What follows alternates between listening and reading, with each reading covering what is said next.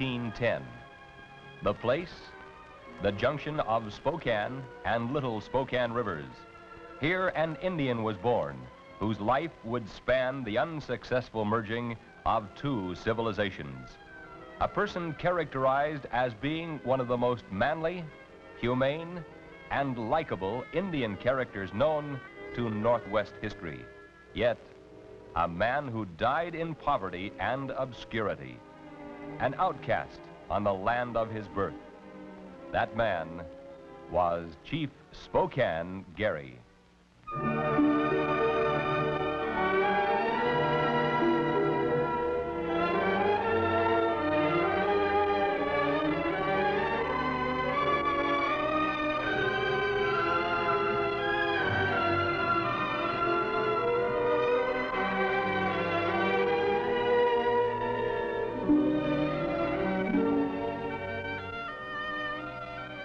Garry, whose native name has long been forgotten, was the son of Ilium Spokane, chief of the Middle Spokane Indian tribe.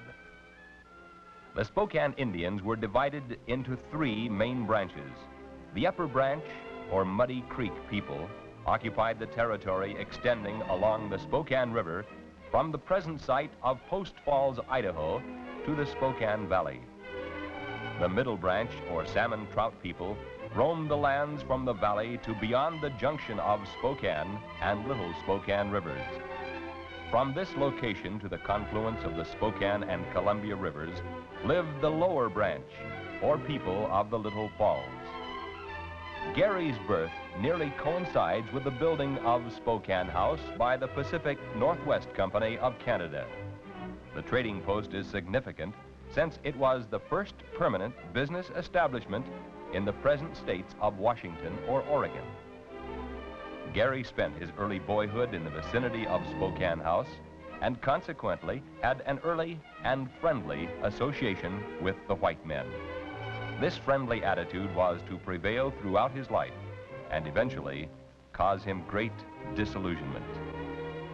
At age 14, a significant event in Garry's life occurred. He was selected by the Hudson's Bay Company as one of several Indian youths in the area to be educated at Fort Garry, now Winnipeg, Canada.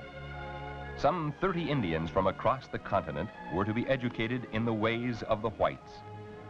On April 12, 1825, Garry left with the party of George Simpson, an officer in the Hudson's Bay Company, the organization which was then operating Spokane House. The journey was a difficult two-month trip down the Spokane River, up the Columbia to boat encampment, across Athabasca Pass, and down the Saskatchewan River. From Norway House, the group traveled south, the length of Lake Winnipeg, and up the Red River to Fort Garry. It was from this fort that Garry was to gain his name. Spokane was an adaptation of his father's name, Spokane. Garry, a good student, remained at the school for several years, during which time he learned both French and English and gained religious training. An Indian companion of Garry's from the Kootenai tribe died while still in Canada. Because of this, Garry returned home, the best white educated Indian in the Northwest. He had mastered the English and French languages. Determined to spread the knowledge and religious teachings he had acquired to his people, Garry set up a crude school in 1830. By doing so, he became the area's first school teacher. The basic curriculum of Garry's school consisted of English, simple agriculture, and Christian religion. Both children and adults attended the 20 by 50 foot Tulimat schoolhouse. Garry's first school was probably located near the site of Spokane House. Since Spokane House was moved to Colville before Garry returned from the Red River School, few whites traveled through the region. In 1838, the first permanent missionaries, Elkanah Walker and Cushing Eells, arrived among the Spokanes and set up a mission near Tshimakain Creek, some 18 miles from the present city of Spokane. Garry continued to teach, but differences in the doctrines of varying religious viewpoints confused the Indians. This confusion led Garry to give up public teaching in 1841.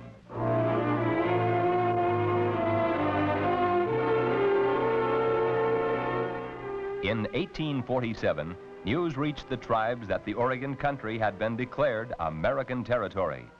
Indians viewed Americans with some hesitancy. Indian resentment flared, and a disastrous event occurred on November 29, 1847. This event will long be remembered in Northwest history, the Whitman Massacre at Waiilatpu. Here, near the present city of Walla Walla, Washington, Dr. Marcus Whitman, his wife, and 12 others were killed, and 45 persons taken as hostages. The Cayuse Indians, the main perpetrators of the killings, urged the Spokanes to join them and drive the Americans from the region. Garry, from the beginning, was for peace, as he felt war would have a disastrous effect on the well-being of the Indians. The general area was closed in 1848 to any further Protestant missionary activities because of the hostile actions at Waiilatpu. Elkanah Walker and Cushing Eells abandoned their Tshimakain mission after a 10-year operation. Garry, nearing the age of 40, was wealthy by Indian standards, owning a number of horses and doing a considerable amount of farming.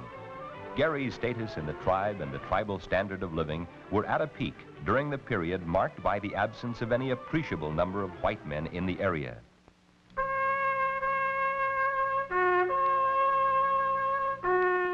In 1850, forebodings of trouble for the Indians of the Northwest arose. The donation land law was enacted that enabled any citizen to claim 320 acres of land, 640 for a married couple anywhere in the Oregon Territory, even though no treaty had been made with the Indians.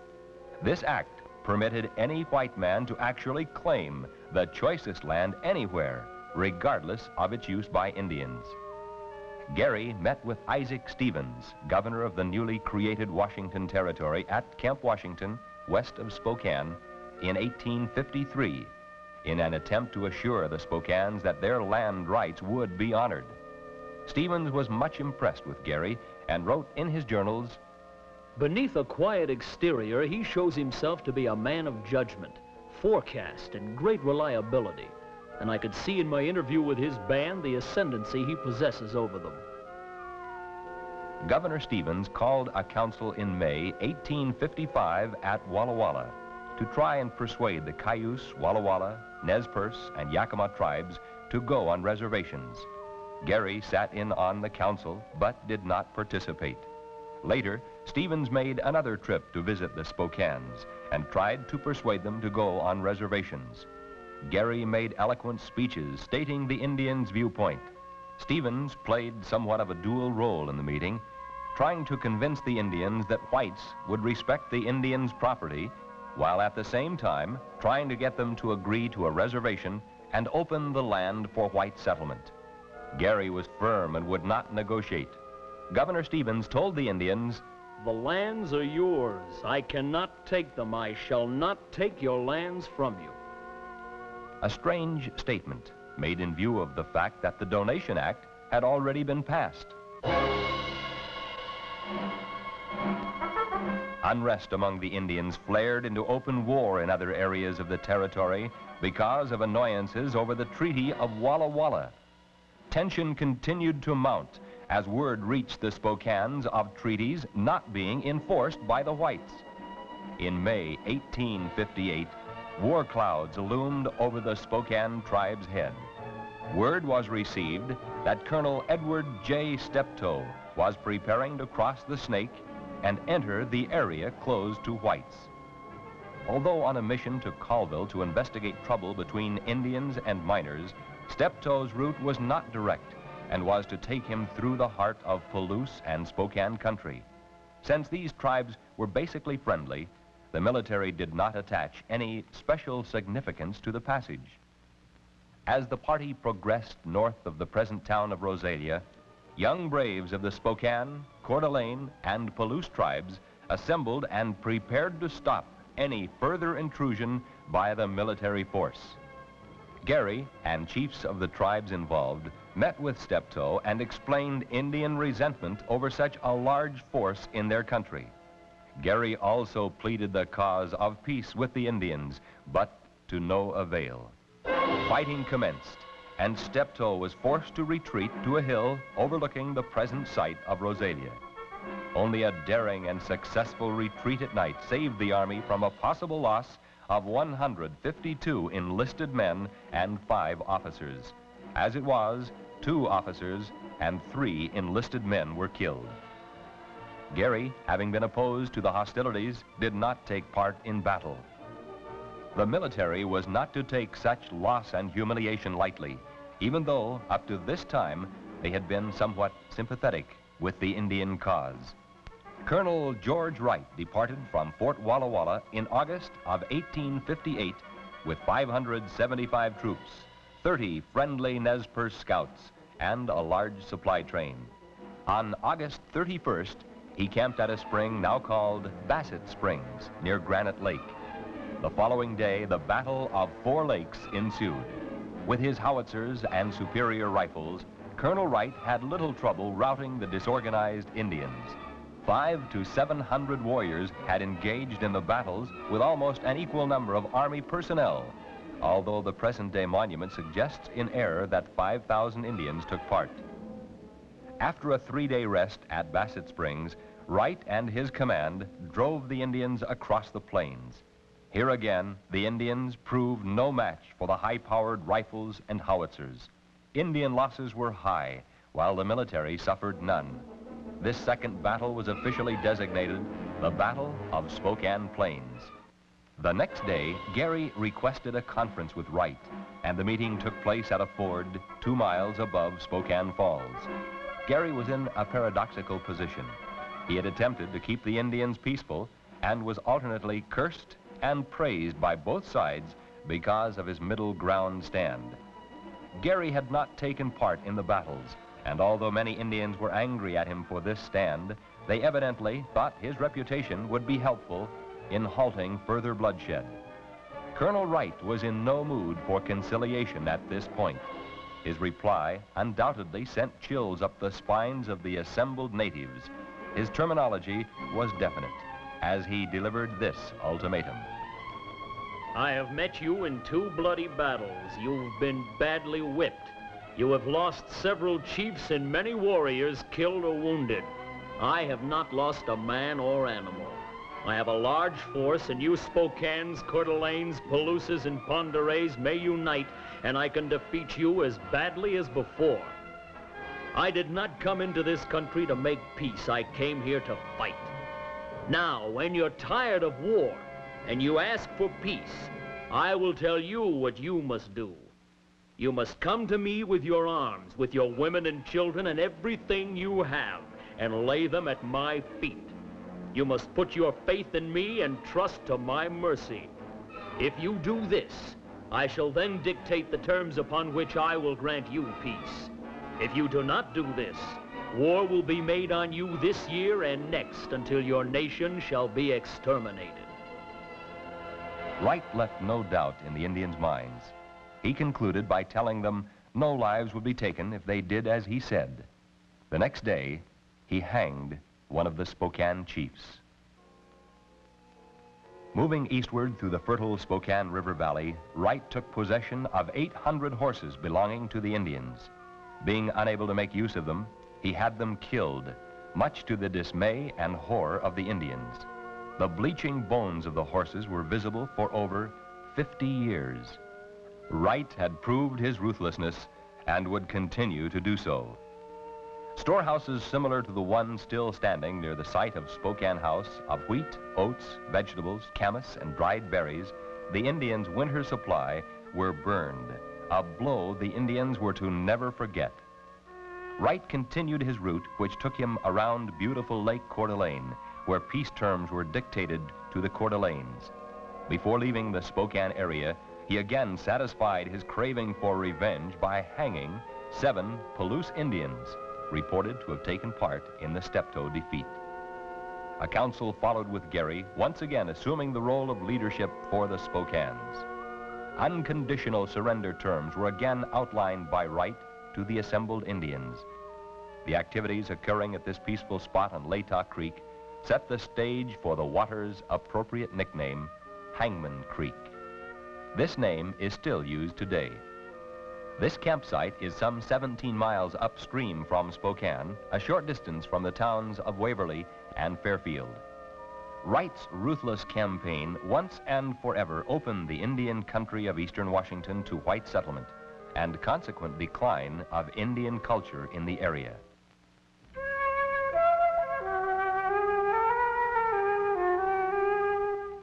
The years following the battles with Steptoe and Wright found eastern Washington attracting more and more settlers. The association with the whites was to the definite disadvantage of the Indians. The military and settlers had little regard for the natives whose homeland they usurped. Competing religious denominations split the tribe into opposing viewpoints. In 1870, Garry was determined to take action that would help salvage the Spokane tribe from complete decline, a tribe then numbering 716 men, women, and children. Garry's band, the largest, numbered 306. During the winter of 1870-71, Garry once again assumed the role of teacher. His second school was, as had been his first some 40 years previous, a tulimat structure attracting students of varying ages and varying numbers. The school was located within the present city limits of Spokane near Drumheller Springs. These springs are just below a flat bench-like area on which the Indians frequently camped and was near the old trail leading north to Fort Colville. A monument has been erected a short distance west of the actual location of the school. Here, he began to teach people of his tribe to read and write. Having no paper, pencils, or slate on which to write, Garry used large cards. Pupils repeated the letters as they were shown the cards. Occasionally, the dirt floor was used as a chalkboard. In the meantime, changes were taking place by the falls of the river. Two men, Scranton and Downing, had settled by the river and built a sawmill, a mill that was the village of Spokane Falls' first business. The river, with its abundance of natural power, was beginning to attract settlers to its shores shores that for centuries had been in the heart of the middle Spokane's territory. This was a time of change. Closer contact with increasing numbers of whites continued to bring problems to the Indians. Diseases, against which the Spokanes had no resistance, appear to have been on the increase. Other problems multiplied. The tribe itself began to decline in numbers. In 1877, the Nez Perce War erupted over discontent with broken treaties and promises made by the whites. This revolt disclosed the genius of a great Indian, Chief Joseph. Fears that the Spokane Indians might enter the war heightened when a few of the Nez Perce appeared near Spokane Falls. Nightly war dances caused the settlers from the surrounding villages to gather on Havermale Island in the Spokane River for safety. The Spokanes perhaps remembering the bitter defeat at George Wright's hands, refused to become involved. Garry was promised that if his people remained at peace, they would be well provided for. Unfortunately, this was another promise never fulfilled. Years passed, and promises for an adequate reservation never became a reality. The lower Spokanes under Chief Lott did accept a small territory near the mouth of the Spokane River, the reservation took care of but a fraction of the tribe and was on land generally unwanted by the whites. In the meantime, Garry lived on and farmed an excellent piece of land near the northeast corner of present-day Spokane in the Hilliard area. Garry put a fence around his farm and made improvements. Under agreement, such homesteads were supposedly assured to Indians, especially if they became citizens which Garry attempted to do, become a citizen in his homeland and the homeland of his ancestors. Garry, his land being in crop but not ready to harvest, joined other Indians at a temporary fishing camp on the Spokane. Fish were still important to the tribe's subsistence. This was a fateful day for Garry. Word reached him that his homestead had been taken over. Hurrying back home, he was ordered to get off and stay off by white men. His land had been claimed by legal maneuvers. Garry lost his home and land forever, and his disillusionment deepened.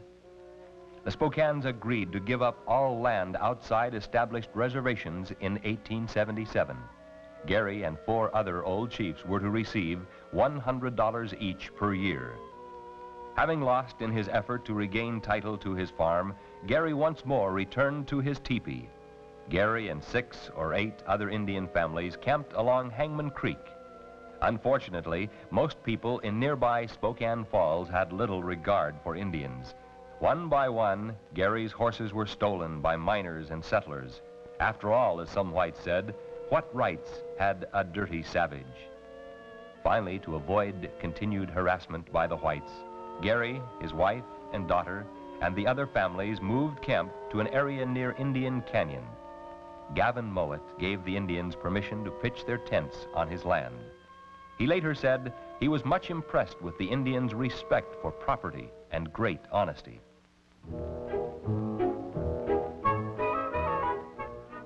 In nearby Spokane Falls, continued changes were occurring. Several years had passed since the railroad had reached the city. A great fire had destroyed most of the business section in 1889. New buildings were more imposing than the earlier structures. Electricity was no longer an oddity. Now, homes, streets, and stores were lighted by glowing electric lights. Electric railways carried passengers about the city. Fashionable homes were being built on land once occupied by teepees. By 1891, Spokane was a thriving city of 26,000. The Spokesman Review of January 1st, 1891 listed 1,000 new homes built and ran 20 columns listing new buildings. Seven electric railways within the city were operating. The imposing new South Central High School had been constructed, along with several elementary schools. Two transcontinental railroads ran through the city, and five bridges spanned the Spokane River. Yet, in this land of prosperity, Garry and his band were considered squatters. Squatters on the land of their birth. On January 12, 1892, life ended for Garry. His search for peace had at last been fulfilled. As has been the case in many instances, most of the kind words came after death. The spokesman review stated at the time, Garry was a man whose friendship for the whites over half a century made the settlement and development of a large part of the inland empire a comparatively easy task. Ironically, Garry had never received a cent of his promised annuity. The year 1892. The place, Indian Canyon. Here in a tent on a cold and wintry night, life ended for Spokane Garry. Indian chief, teacher, farmer, statesman, and preacher.